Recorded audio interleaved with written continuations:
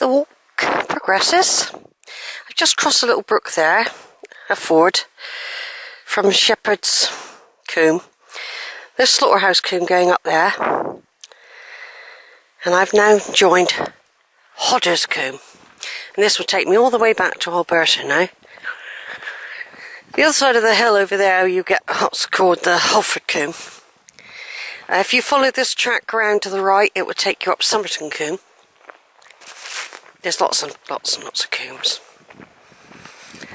Um, it's just right now, the temperature, not too hot.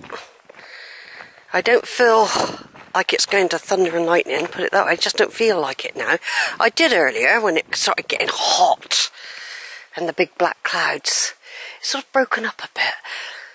But like I say, because I'm in the wood, I don't I can't see those big black clouds swirling about, I knew that I'd feel alright doing this last bit.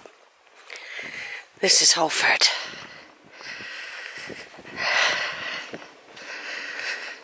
This is where I, I say I feel my sister everywhere, but coming up to the next crossing of the fords,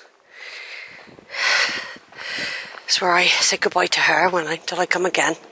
I say goodbye to her. When she's there's other walks I meet up with her.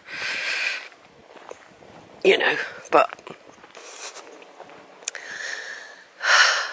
I know we've both been here. That's why I'm. I know she knows other parts of the Quantocks, so I'm not sure where, but I know she's been here. So, you know, there's a track that takes you up there. That'll take you up to Lower Hare Knap and Higher Hare Knap. The top tracks up the top there and if you go down the other side you'll get to the Holford Combe area and that'll take you up to Dowsborough Hillfort um, Dead Woman's Ditch Greatwood and all right over there I've still got quite a few little things I want to explore and I haven't got around to it yet so that if you go up there that that's Somerton Combe okay there's two forks. There's the first fork here, Somerton Combe, Hodder's Combe. Then you've got Slaughterhouse Combe and Shepherd's Combe. And this is a meeting place. This is where the Fords meet. Um, don't expect them to be that full this time of year, but then again, we have had lots of rain. I'm just going to pile across here without too much worrying because I'm. It's not as if it's the walk out. I'll do a little bit of balancing, but you can slip, you see, so. Like I say, if you go up there, it'll take you up to lower Hare Knap, higher Hare Knap, and there's a path up there that also comes back down where the car park is, which is also a nice walk. Well, that's this is where I said goodbye to Jude. On this walk, I always say she sits on that bank there and she says, oh, you've had a nice walk, Sheila, doing a bit of exploring over at Bicknoller. I used to go over there and with Stuart and have um, tea and cake. And uh, I know that, that, that route. So I, was, I, too, I sort of feel sad now I don't. I just hope this place stays. With all this climate change going on, who knows? Got to turn off for a minute. Right then, the sun's coming out. It's looking quite nice, the, um, the old ancient trees in the sunlight now.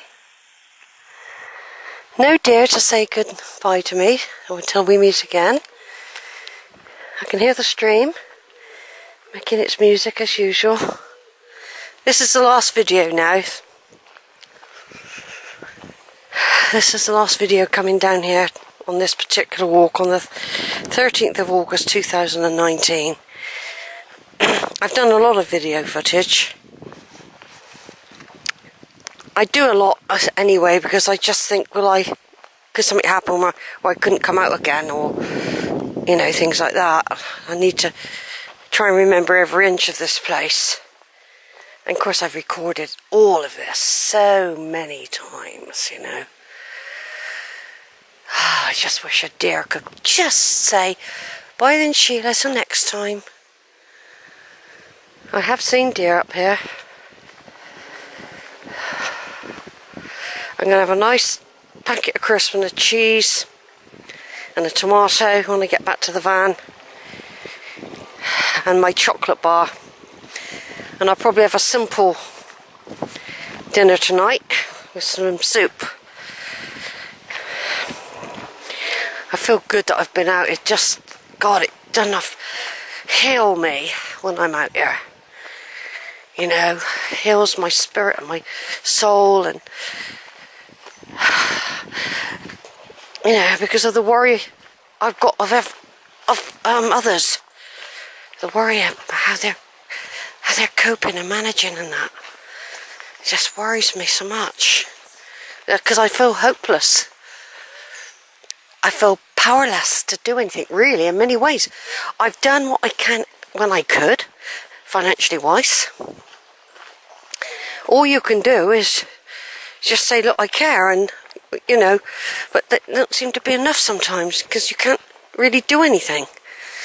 Um, little things help, I know.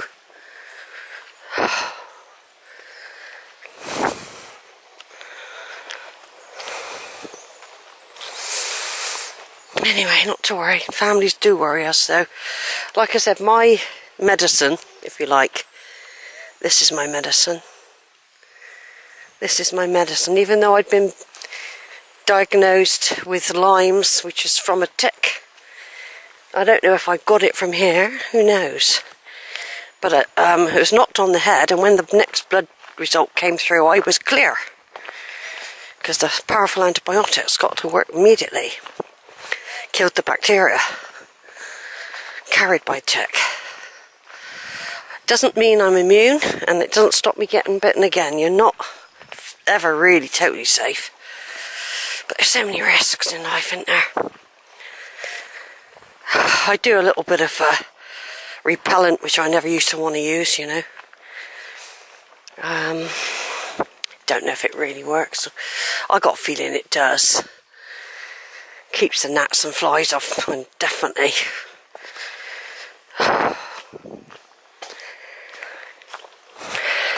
In a couple of hours, I'll be back in my little flat watching EastEnders. Or having to catch up. I've got loads of programs to catch up on actually. They put too much on at the same time and it clashes. Sometimes I don't get round to catching up because it takes up valuable time. Time is precious.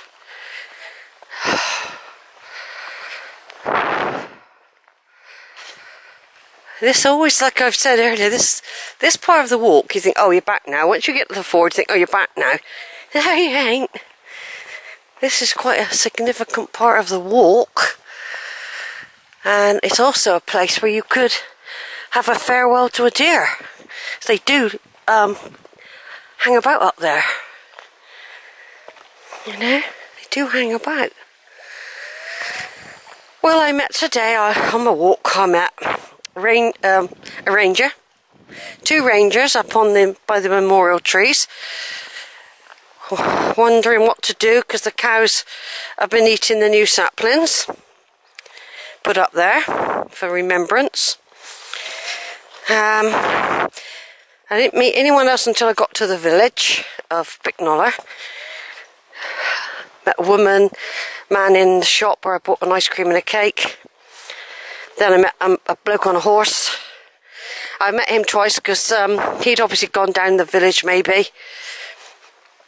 Maybe to you know, have a cup of tea and tie his horse up, who knows. And then um, he came back once I'd done that big hill and I was right at the top, he passed me again.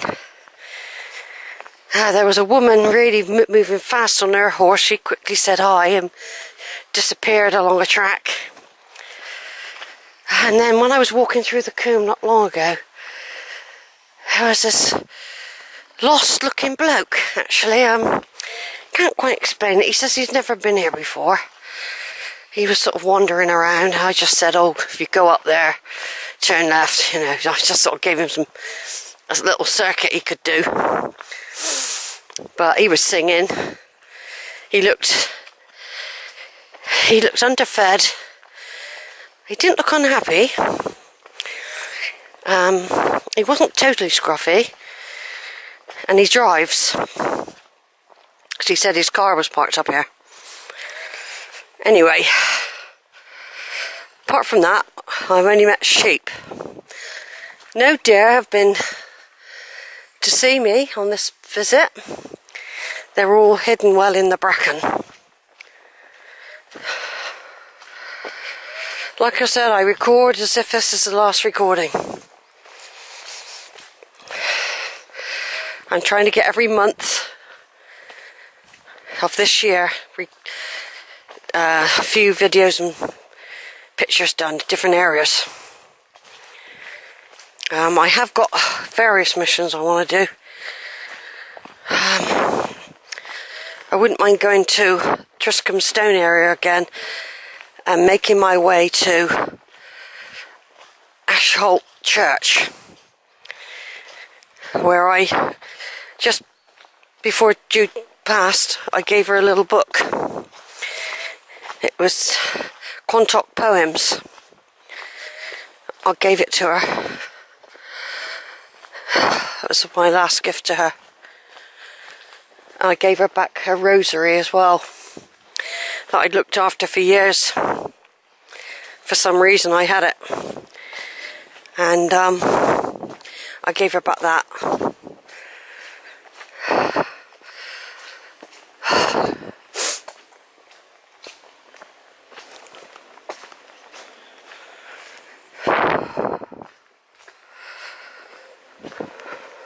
I still find it hard to believe. Can't believe it still.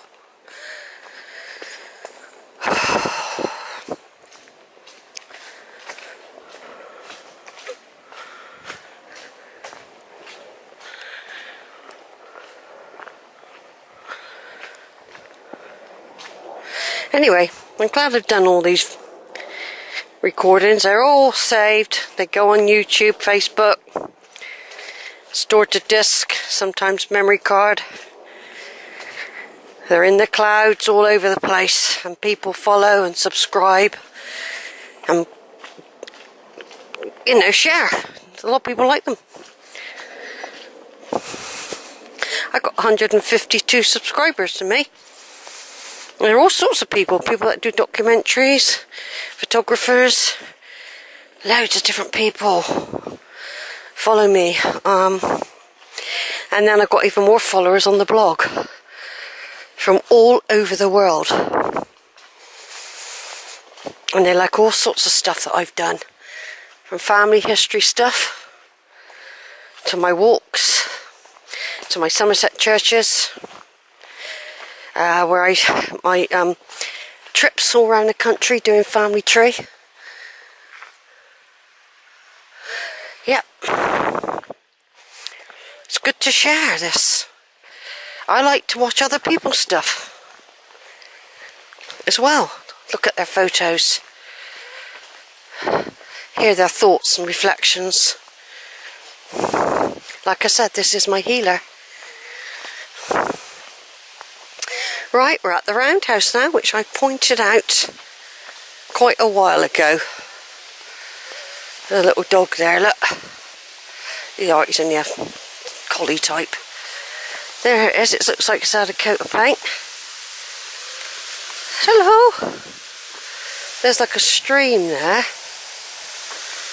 The waterfall. If the, I don't reckon the yurt's up there anymore, you know. Yeah. Hello. You friendly? Hope so. Have you got out? Where's your leader? Hey? Where's your leader gone? I can't let you in here because you might escape. Wait a minute. Stay there. In case you get out. There, hello. Where'd you? You local? Hey, you local? God, I hope you're not a lost dog, because I can't take you home, mate. Do you want me to let you back in there? Is that where you live? Come on then. I'll put you in there because I don't know what you're doing out here. You might be long in here. Come on. You'd be better off in here. Let me just see where the gate is. There you are, go on. Goodbye.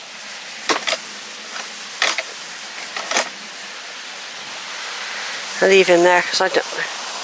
Anyway, there's the waterfall there. Hopefully he does live here.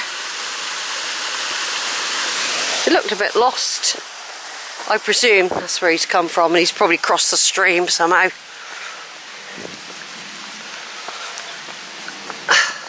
Or someone's dumped him.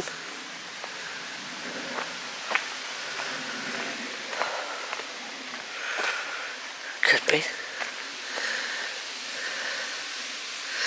Yeah, just leave him in there. He's better off in there because uh, there's people there.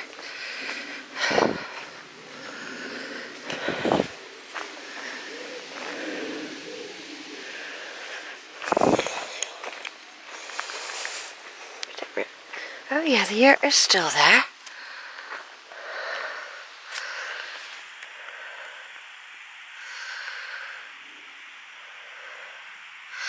Maybe that dog comes from up there. See it? Seen a woman just going in there.